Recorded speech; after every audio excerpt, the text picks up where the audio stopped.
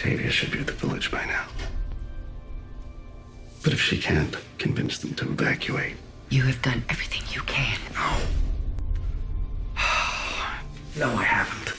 I let this happen. I demanded an election.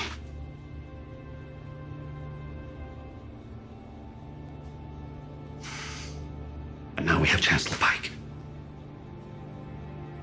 We're on the brink of a war we can't win. And all I can do to stop it is send kids into harm's way. Hey. In case you haven't noticed, they're not kids anymore.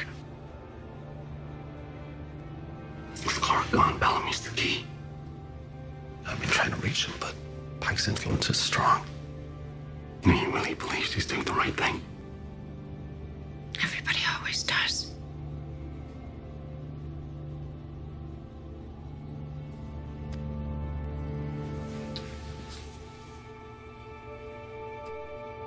What was that?